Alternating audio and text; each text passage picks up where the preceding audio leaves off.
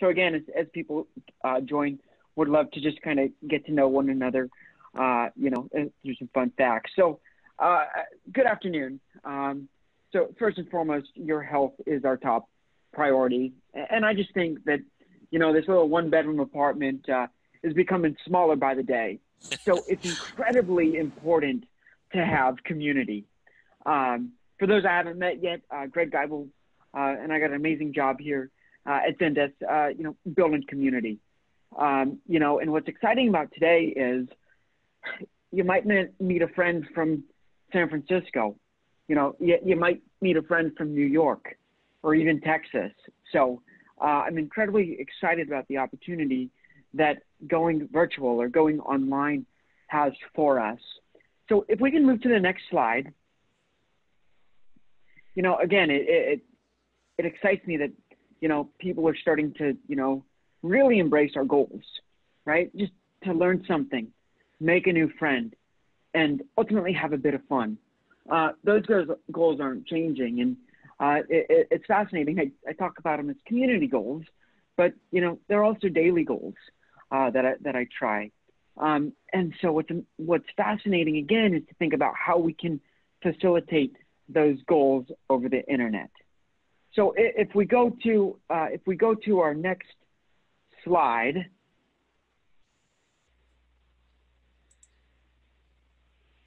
sweet, uh, we're adding polls. Uh, so if we go to our next slide, right? I, am sure many of you have been, you know, uh, done a you know a Zoom happy hour as an example, but just some some some best practices. You know, during the presentation, we're gonna uh, mute the videos.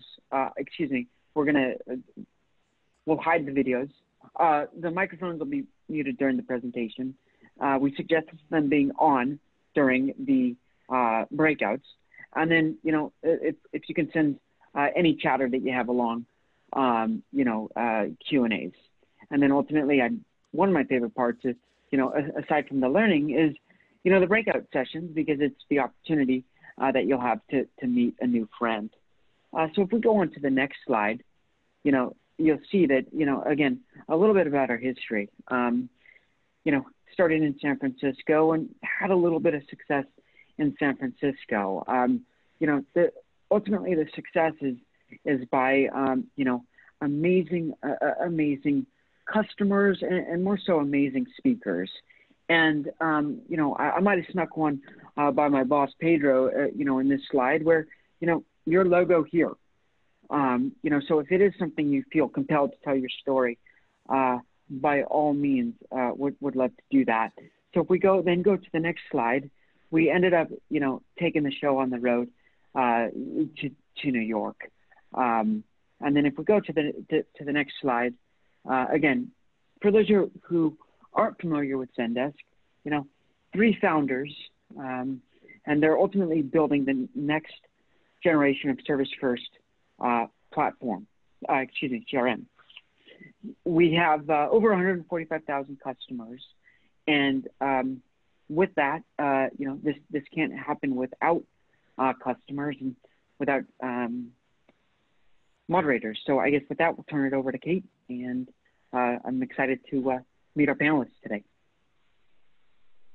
Wonderful. Thanks, Greg. Hello, everybody. It is great to meet you virtually. Um, can everybody hear me okay? Just making sure.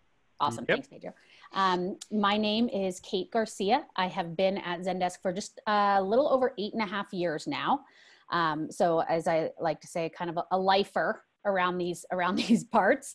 Um, the the relevant fact around being here as long as I have is my first three years at Zendesk were focused on at the time what we called our strategic customer organization or strategic accounts. And those were primarily made up of startups, just like you guys, as well as our, our small handful of enterprise customers at the time.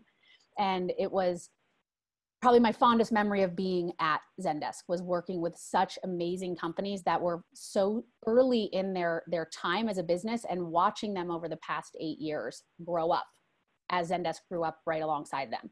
So, you know, you guys are the companies that built Zendesk continue to be a core focus for our business. Um, and consequently are also the most interesting businesses that we work with, to be frank. So I love being a part of this and I appreciate being asked to moderate this panel of really amazing customers that we have today.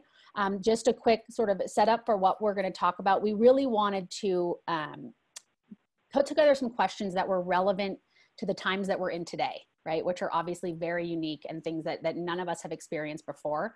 It'll be very conversational um, between the three members of our panel. And we really, we want you to walk out of here, you know, with something you can take back and use today, right? Some good tips, some good advice. So um, we're gonna go through just a couple of questions and, and open up the discussion. But before we do that, um, if we can head to the next slide, Sammy, we're gonna introduce our panelists. Um, so we can start with you, Jen, but if each of you could just share with the group kind of who you are, your role, and also how your business uses Zendesk. Sure. Hey everyone, Jen Burton. Um, I head up the support organization at Digit, and we are a startup uh, whose main goal in life is to uh, make financial health effortless for everyone. Um, so we we are busy uh, busy working on that. Um, we're Zendesk users. I've personally uh, been using Zendesk for about ten years, um, and at Digit uh, we use it mostly in email. We do use Talk um, where where our customers can leave us voicemail and then we return. We're not, we don't have live phones turned on quite yet. Uh, so the bulk of our Zendesk use is is email, and then obviously Explore as well. We use Explore a lot. Great, thank you. And Brandon. Hi, I'm Brandon Ray. Um, I'm head of about half of community at Fandom, leading up our verticals for uh, TV, movies, and uh, anime communities. Um, also head of customer support. So we use Zendesk primarily over email as well, uh, as well as the, the help desk functionality. And I've been at Fandom for about 10 years and nine of those have been using Zendesk. Awesome. Justine. Yeah, hi, I'm Justine Madison. I head up service and support at Lever. Um, Lever is a talent relationship management platform. So kind of taking over the ATS space and turning it more into an overall talent relationship manager where you go from candidate through the employee experience. Um, I've been at Lever for almost four years. When I got to Lever, I came back to Zendesk. I had used it almost 10 years ago, uh, moved away from it at my last company, came back to Zendesk when I came on at Lever. Um, and we use all of it. We use Talk and Chat and the Help Center Guide and Explore. Um, and we're deeply integrated it in our support processes.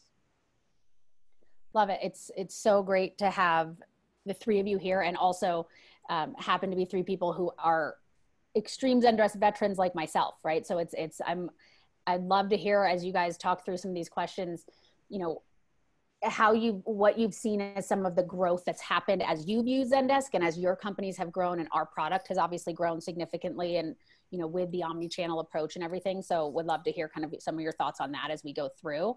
Um, but to kick it off, if we want to go to the next slide, please, Sammy.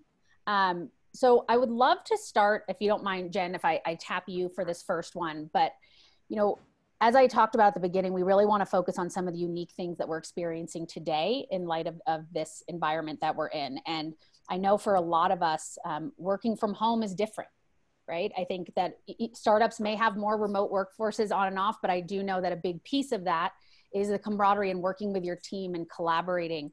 Um, it can be isolating. It can be hard to share experiences, to get feedback, you know, to collaborate. So, how have you worked specifically in this time to keep your teams engaged, right? Sure. To keep them motivated and inspired. Totally. I mean, there's no doubt that our world changed, you know, March 1st. Uh, Digit went mandatory work from home on March 3rd.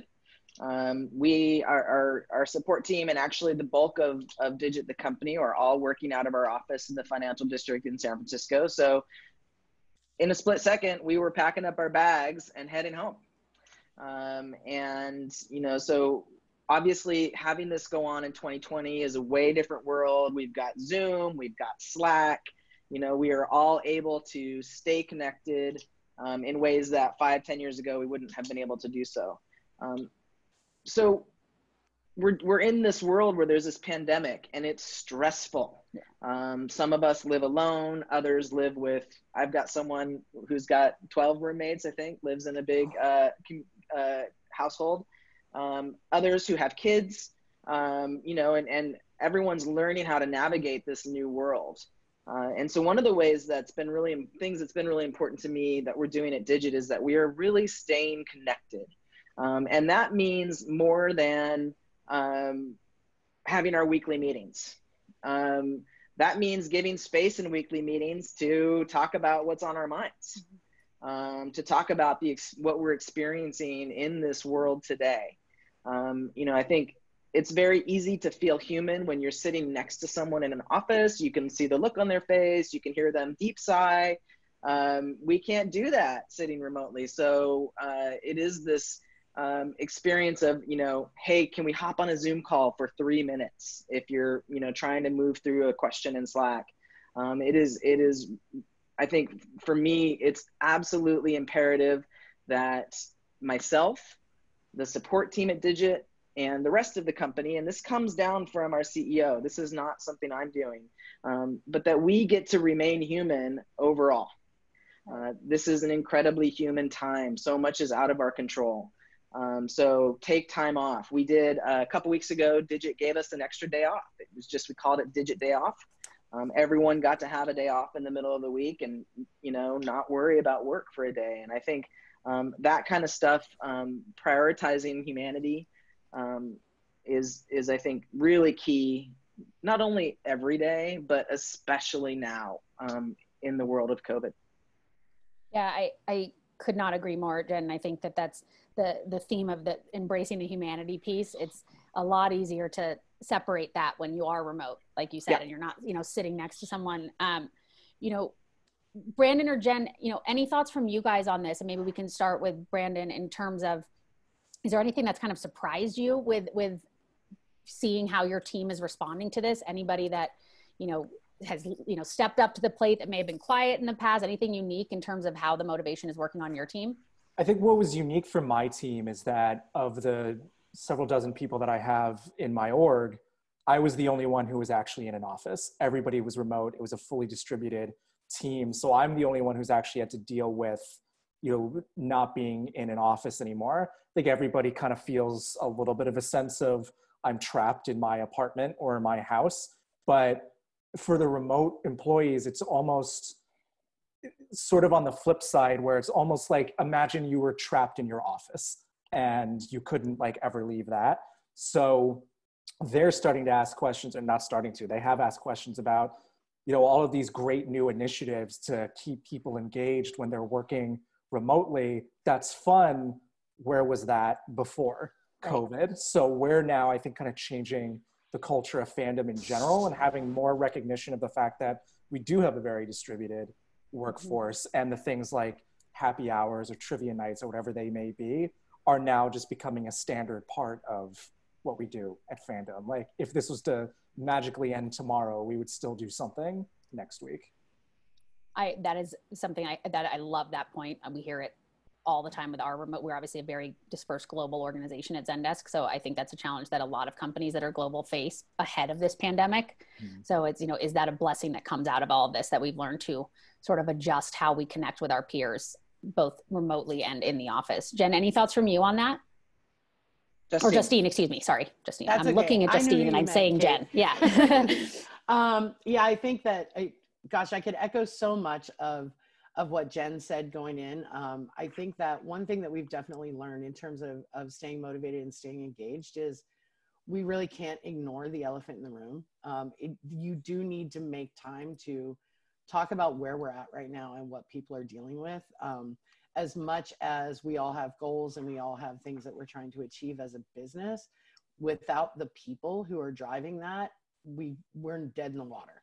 Um, so really taking the time to do what happens organically when you're sitting next to somebody or walking past them in the halls and really making time to go, where are you at? How are you feeling?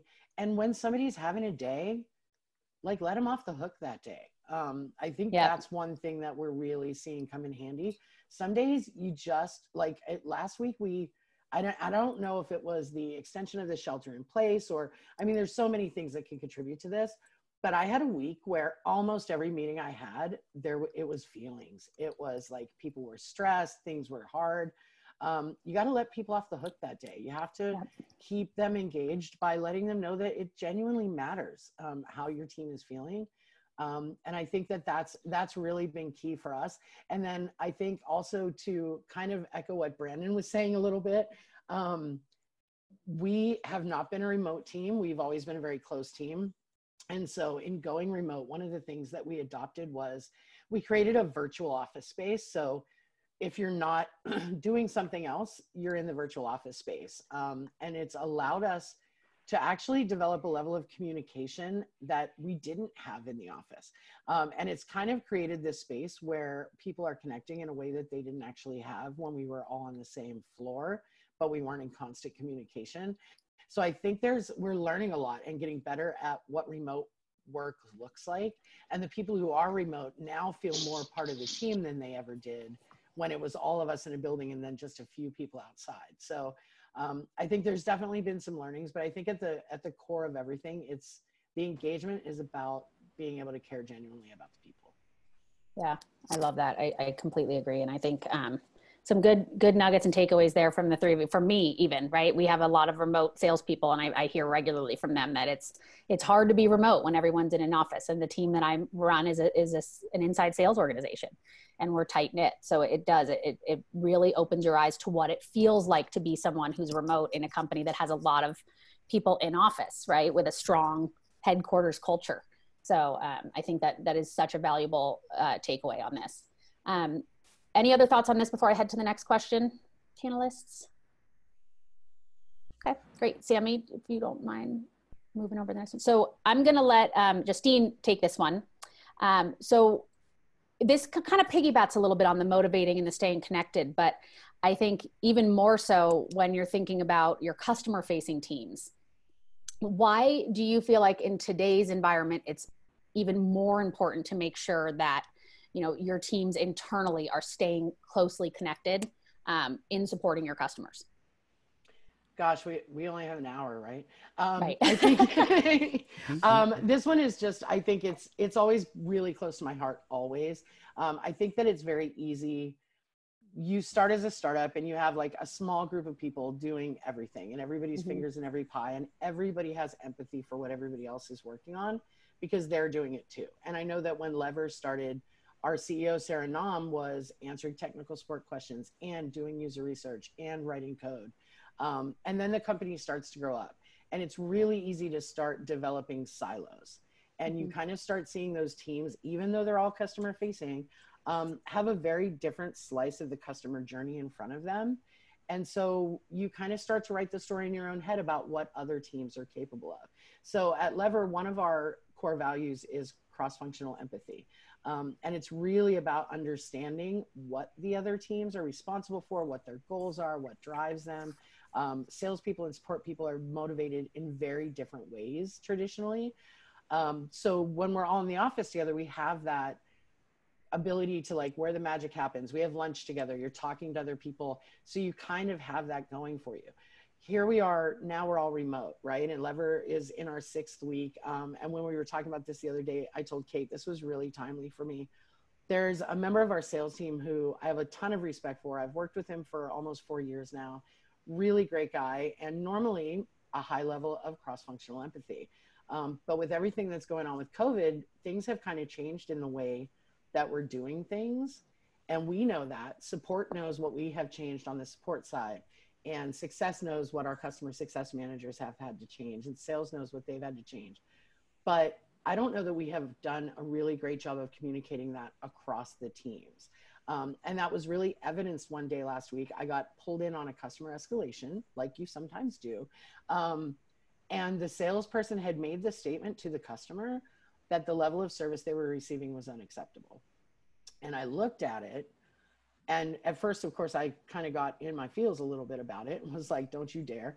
Um, but then, actually, when I took a step back and I looked at it, I went back and had a conversation with him. And at the root of it was, it was a level of service that they had not previously seen from the support team we've had to kind of pivot and start prioritizing things in a way that we've always been set up for. Like we have very specific tiered service offerings and what comes with that. But up until now, we've kind of had the luxury of not really holding everybody to those. And we've been mm-hmm. able to deliver a level of service even to people on the lower offerings that is outside of that. Um, and the first time he saw a situation where somebody actually got the level of service that they get from us, he called it unacceptable. And he did that in the ticket in front of the team, which is like really demoralizing and really upsetting. Um, once I went back and had the conversation with him and kind of set those expectations, um, and with the customer for that matter, there was a very different lens put on it. And it was like, oh, this isn't actually unacceptable at all. It's just out of the norm. Um, right. So I think that it was just a really good illustration to me of the reason why it's so important that we bring all the customer facing teams along on our journey. We eat, sleep, and breathe what we do, but not everybody does. And the bigger right. you get um, and the more remote you get, the more intentional you have to be about that communication. I love. And so for you, it was really just having that one-on-one conversation with that particular rep to make sure that, you know, he was clear on, on kind of the full context of the, of the issue. So yes, and um, the result of that conversation was actually that we pulled in the manager on our sales enablement team and went, how can we get this communicated in an effective way that brings value? Um, so we're now kind of doing a really cross-functional rollout of, hey, what are our service offerings and what does that look like in the new world? Yeah, that was the my going to be my follow-up question was, yeah. you know, given that, you know, how do you kind of then make that happen at scale versus like you said, people kind of making decisions and assumptions you know in a silo that then filters out through all the tentacles to the other teams with that incorrect information? Right. You know um, jen have you run into this at all? Have you noticed anything like that where you yeah, are or what? Yeah. absolutely. I think the the very first thing that we did at digit was that we put together uh, a coronavirus response team so mm-hmm. members of business operations product uh, cs um, and those folks got together and created what Digit's response uh, would be to our customers. Um, the top thing that came out of that was a support hub uh, providing financial health information, where to go for mortgage relief or rent relief, stimulus check information. Um, our main goal with, with that cross functional effort was providing a level of support to our customers that they weren't getting anywhere else. It was one place they could go to get their financial questions answered. Um, so, and that took, you know, across that took people from across the whole company. Um, every, I feel like everyone had their fingers in that pie, and it, you know, we digit.co slash together. Um, you know, people can write us at that it, it, together at Digit. We've got the hub up. Um, you know, it was a, a very quickly spun up great cross-functional response that you know to really take care of our customers and keep our mission alive. Love that. How about you brandon? Anything i know that you said you have a lot of a lot of your workforce has been remote. Um, have you noticed anything unique in this new environment with maybe some of the teams that weren't and how they're able to connect yeah one of the most interesting things about all this that i've seen is you know if you take a look at our product organization of all of the people who are in product now one of them was here a year ago. We've had like massive turnover in that mm-hmm. organization. So there are now key people starting in very essential roles who were onboarded remotely. They started after this began. So we're in this weird position of i could have said hey how you doing introduce myself in an office we could have gone out for coffee so it's really an interesting challenge to try to find those new lines of communication with a person you've never had an opportunity to meet in person, which is possible to do even without new hires. But you know, when that's the area of our company that we're most invested in right now, it is an interesting challenge to make sure that we just get to know each other, and that's where the virtual events come in. Because I've seen so many cases over the years, even in an office, where silos as Justine was saying, were very easy to form. And I think we all have to be really diligent right now about making sure those don't reform or just like new ones form as a result of COVID. Agree. And I noticed too, I mean, when you're uh, when there's a lot of people and you're dispersed too, sometimes it can be hard to potentially get everybody onto a Zoom or onto calls. And what, one of the things I've noticed a lot that's picked up at Zendesk, we always joke that we have probably more Slack channels than employees. However, one of the things that I've seen that I think is really neat is more than we used to people calling out really cool things that either um, that's anybody customer facing has been doing. It could be a great win um, for a customer that was struggling that we were able to help. It could be, you know, anything you can think of, but calling out those supporting members who are a part of those conversations and are, you know, on the front lines with the customer to celebrate those wins. When the company's so separated, brings the company together really well. I've noticed. I've seen people coming in and joining on Slack channels and in conversations that I've never seen participate before in a sales channel because they're hungry to hear about the customer successes and what companies are doing and how they're facing this pandemic. So I think even on as simple as trying to think about, you know, who would really find this interesting? A member of our product team who I know was really behind what we were doing in this new feature in the chat functionality. And this customer loved it. I want to call that out for them on the channel. So just sort of trying, encouraging my team to take that extra minute to thank the supporting teams they're working with every day to highlight those things since they might not see them right in front of them, right? They're not on those calls every day. Um, okay, next slide. So this one, we're gonna turn the focus directly to the customer here. Um, I think more than ever, our customers' needs are changing.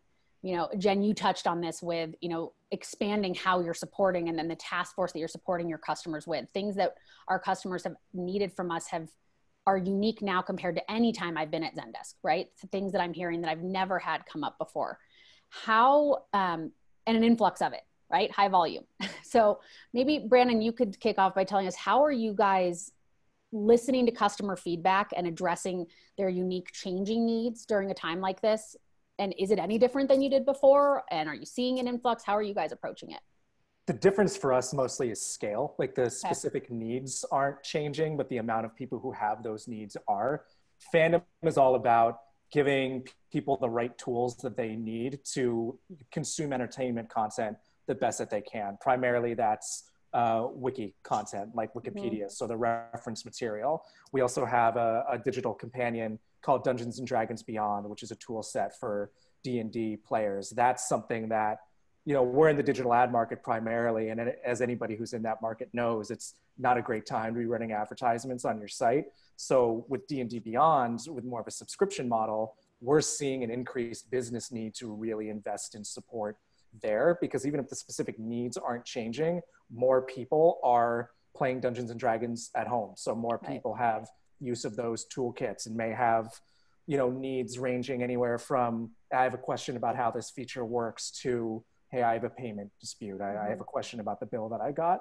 Um, and we're also still releasing new products on DDB. So we just launched a few new tools for players. And the benefit there is we almost have uh, a wider pool of people to give us feedback to give or to make that uh, product even better. And then on our wiki side, where I think it's the most interesting is about a year ago, we undertook a, a, massive replatforming effort. The software that we use to power our wikis on fandom is about seven years out of date and was hacked together in its own unique version of doing it. We're now going back to the core MediaWiki software that also powers Wikipedia. And that means change for a lot of people. And we are, in a lot of ways, a, a safe haven for people where they can come and find information and, and talk with other fans about Star Wars or Game of Thrones or Call of Duty or whatever it may be. So, in the middle of this unprecedented worldwide change, we're also changing the website. We're also changing their workflow and how they do things. And that's never an easy feat on the internet to convince people of, but it's even harder now when the entire right. world is changing and now their entertainment is too. So, we're trying to be really sensitive to all of that feedback and you know i think more so than at any time in fandom's history really trying to meet the needs of that specific group of users which is 3% at best of the people who use our site in addition to the fans who are coming to consume our content. I like that. I think the being uniquely position being uniquely aware of any little changes that may be even if it is something that you know is highly anticipated and really important recognizing that people might be have more of a reaction to change now than they would have in the past based on on things already going on. Yeah. um, you know how about i think it was justine mentioned you know that could have been what was going on last week with the extension of the shelter in place but there was a lot of feelings coming through right on a lot of these conversations um, you know piggybacking on what brandon said you know jen or justine have you noticed similar reactions from your customers too right where maybe it was more of just a straight business support question they're coming in with but you're feeling a little more from them in those questions now than you did before um, totally. oh go ahead yeah. justine Okay, thanks, Jen. um, yeah, absolutely. Like so much of what Brandon just said just resonated so much. Um, I think that being in the the talent space and and primarily working with people, onboarding new talent, hiring, um, our our all of our customers are uncertain right now. Everybody in the world is kind of in a state of flux, and they're not sure what's going to be happening. Um, and over the last six weeks, or since the beginning of March, a lot of those conversations have gone from very specifically strictly business driven decisions on their part to very emotional um, almost reactionary in some cases decisions that they're making. Um, we don't know if we're going to be in business next month. We don't want to hire anymore. We want to cancel our contract or we don't want to close the deal. We want to we, because we don't know what's going to happen. Um, and that's real. I mean that's a real feeling. And i i think that lever comes from a place and um, and i personally too so it makes it easy to champion that this is a temporary thing right? This this pandemic is a temporary thing and i think that the bulk of our customers and the bulk of people out there are going to come through the other end pretty positively positioned. Um, but it's really easy for me to sit here and say that about somebody else's company and it doesn't change the way that they feel or what their fears are. Mm-hmm. Um, what we actually did beginning in the early in March, we started having getting some of these conversations like we're not hiring, we're not going to be hiring, we we don't we can't afford lever anymore. We have to save every dollar we have. Um, and we pivoted. We we rolled out an entirely new flexible payment and contracting process. It takes a conversation. Those mm-hmm. customers mm-hmm. have to really engage with us and tell us like where are you at and what do you think is going to happen? And and what's your kind of what's most important to protect right now? Um, and we just created some different plans where you can either just hold on to your account and and pay almost nothing and you're not really hiring you're not really doing anything and when you start that again then the contract goes back um, to some customers that had to have some really deep cuts and have much smaller teams and just kind of instead of renegotiating, knowing you want to bring that back, we'll just lower where your contract's at right now. Um, and just got really flexible. The reception to that has been really positive. But I think the the thing that has really come out of it for us, in my experience, is that real feeling of partnership with the customer. Yeah. And really, we're really helping them. We're meeting them where they stand instead of shutting down and saying, "Nope, you signed a contract and that's what you're in it for." Um, and that in itself allows them to go take a deep breath mm-hmm. and know that they're not like pigeonholed into this place that they're afraid of being. Um, and then make the decision again from a more strategic place on their part. So, yeah, I think there, I there's been a ton of really having to listen to the customer to meet them where they stand. I love that. So true. Think the partnership, right? And, come, and meeting them where they are. I think that's huge. Jen, did you have anything to add? Yeah, I mean, so Digit is is a financial health uh, product. So we're here to help people save money, pay down their credit cards, pay down their student loans. So there's been a tremendous amount of anxiety and fear, and um, but there have also there's been a lot of gratifying moments. You know, people writing to us and saying, "Hey, I'm a bartender. I lost my job, but I have twenty five hundred dollars in Digit saved. So thank you. You help. Cool. You're going to help me make it through right now." Um, as far as responding to that, you know, our team was already very empowered uh, to make decisions around, you know, subscription refunds or free months and that sort of thing to work with the customers. And we've we've really encouraged the team uh, to feel even more empowered to do so. We, you know, people are writing to us saying, "Hey, you know, I'm really scared right now, and I think I want to close my Digit account." and because I'm scared and I'm afraid I can't afford the five dollars a month. And we'll say, hey, you know, we'll give you three months free. Um, you know, we want to, our, financial health is real and it's literally, you know, the business, we're doubling down on our product right now. Um, we've got, you know, we're working really hard on some, on some new stuff coming. Um, and on the support side, um, we're here to make that journey for that person that much more safe and simple. Uh, so the team can do whatever it takes to have that customer walk away feeling a little bit better today about their financial situation.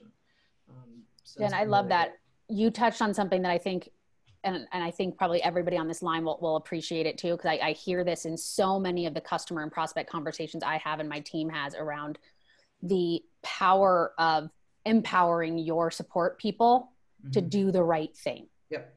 Right. And so I think that in itself, that step, you know, it, it ties all these three questions together because you're that's motivating for an agent how motivating for them to be on this call and hear that person who's struggling and know that they have an answer right there yep. that they can give that's going to make it better yep. rather than feeling like they have to make that person wait and go figure it out right it's motivating it keeps the teams collaborating because they know what they can and can't do um, and i think it builds for better partnerships like mm-hmm. justine said right you guys are really connecting with your customers they're not thinking I'm just on the phone with a support rep who's going to go to the manager and they're going to go, but it's like they're connecting with that person who's helping them directly. And I think that's so special in this kind of situation when we're all isolated to be able to make those connections, not just with your peers and your coworkers, but the people outside that you're helping.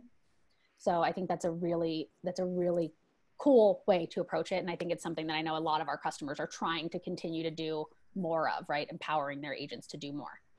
Um, this has been super enlightening for me. I hope for everybody else on the line as well. So thank you so much, Jen, Justine, Brandon. I know there are questions that aren't ones that I that I forced you guys to read and answer that um, the the audience has here. So I think I'm gonna hand it over to our hosts and let them jump in so that you guys can get some some questions. Uh, you know, first and foremost, a huge thank you um, for taking the time to speak with us uh, this afternoon, and I think uh, we'd like to make this as interactive as we can. So I think, um, you know, I think at this point uh, we will unmute uh, the participants. Um, Somia, um, if you maybe wouldn't mind starting with a quick introduction, and um, you know, you had a great question, so we'll we'll give you the mic. Great. Can everybody hear me? Hi. Thank you for Sounds such great. Awesome. Thank you so much for a very interesting panel session. Um, I'm Somia Kapoor. I'm a CEO of a stealth mode startup called the Loops.ai, where we're trying to do a lot more agent augmentation um, and automation piece over there. But my question was that if you had a magic wand and you were looking for tools to help with the agent productivity, especially in this remote environment, right? What would you be asking for, right? Are you looking more to optimize on customer journey at the time of ticket creation? Are you looking for an audit trail on how the resolution are happening with your internal team as that ticket is getting bounced between your agents and product teams? What are you looking for? I'll go. Um, hey, Somia. Um, I think I want, like, what I would love is um, a way for for for my agents um, to be able to you know quickly access the information they need. So um, maybe have that as suggested to them when that ticket comes in. Right now, we do a lot of macro fishing. You start typing in that search field, looking for is that the right macro? Nope, delete. Is that the right macro? Um, so a better way to surface um, likely related uh, solutions to, to that ticket um, on the on the agent side for the end user. Awesome.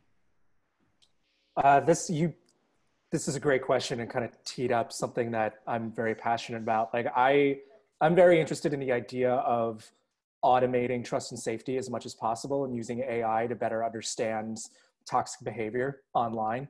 And I would love if I could wave a magic wand to have a tool that not only empowered agents, but also my community managers and our hundreds, if not thousands, of volunteer moderators to know this is bad, click this button, it's not on the site anymore, and they don't have to review every comment or uh, every edit to a wiki uh, by hand, because that's incredibly time consuming, especially to our content creators. So that would be my ideal tool, because it also you know, if you're stuck at home and you're, you know, you're dealing with the situation like we are now, you don't want to have to deal with somebody being a jerk online. So the more that you can just automate, push a button, get rid of it, the easier I think it'll be on everybody. Sounds good. Yeah, I think, uh, Sami, I think it's a really good question. And you said magic wand, and my mind went so many different places with that um, because I think there's so many things that would just make everybody's life better now and always in the support world.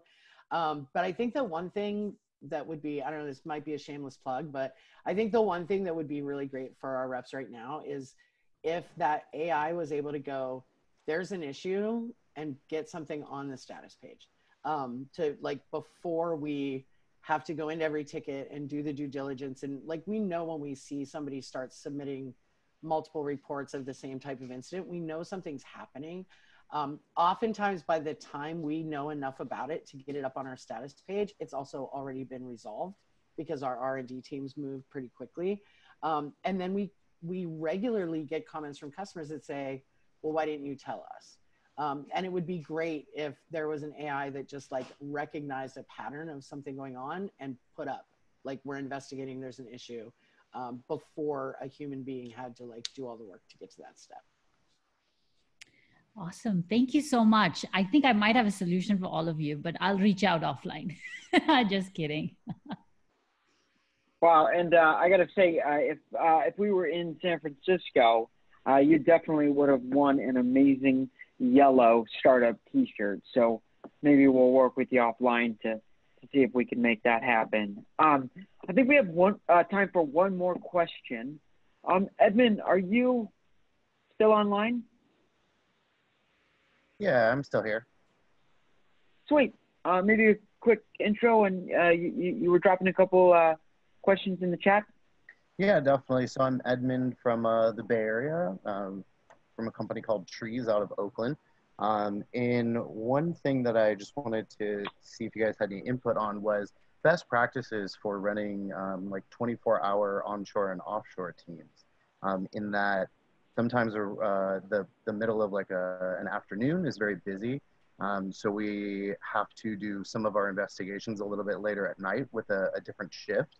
Um, but what are your, your suggestions on kind of really efficiently doing that, transferring the, the responsibility from daytime to the overnight shift and ensuring that the customer actually gets a timely resolution um, while still holding people accountable. Because I don't want to wait, you know, 24 hours till the agent's next shift to resolve an issue when the overnight, you know, overnight shift might be able to do that much sooner.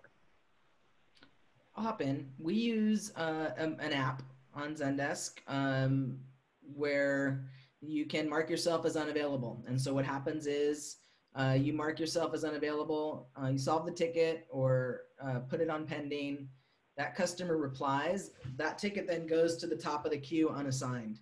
Um, so that if you're on you know weekend or PTO, um, those tickets don't go and sit and wait um, for for you to to show back up and check out your your queue. So I can't remember the exact name of it. Um, someone from Digit who's on this call, if you could pop into chat and drop the name of that um, app, that would be super helpful. But that's what we use at Digit. Outstanding. So awesome. I think um, just being uh, super respectful of I'm just going to jump in quickly. I think it's called out of office. Does that sound right? Sorry, Greg. I just wanted to make sure it didn't slip through the cracks. So I think the app was out of office. Yeah. Yep. Yes. Okay, thank you to the member of your team who jumped in and said that, but I just, I saw it in the chat, so I just wanted to make sure the group got it. Thanks, Kate. Um, can we move to the next slide, Sammy? Oh, we're one slide ahead. We knocked that out. All right, uh, on to the next. So again, uh, you know, it, it's uh, we've got, uh, you know, we want to continue the conversation. Um, you know, so we've got another. Uh, again, community can't happen without, you know, uh, amazing speakers huge, huge, huge thanks to you know Kate, Brandon, and Justine. Um, they probably are going to block my phone number from here on out and or uh, text messages. But uh, again, heartfelt thank you. Um, you know, and then uh, we, have got another great event. Um, you know, uh, lined up with again, um, Calm Coffee Meets Bagel and uh, Hinge. If we can go to the next slide. I'd like to hand it over to Pedro. Thank you, Greg. Um, so thank you everyone for being here and spending your time with us. Uh, we had a really good participation today. Folks are really sending good questions. So that's really helpful for us to understand and keep creating and bringing speakers that help you to navigate these uncertain times. And to help you more with that, we have our great program for startups. So you haven't started with Zendesk, yeah, and you want to get use our technology, get access to our um, services, our customer success team in this community, you can sign up for the startup program. I shared the link here in the chat so you can have access to our suite of products for six months free. So this is a perfect opportunity for you that is like looking to Zendesk but haven't committed yet. You can just sign up to the program, this landing page.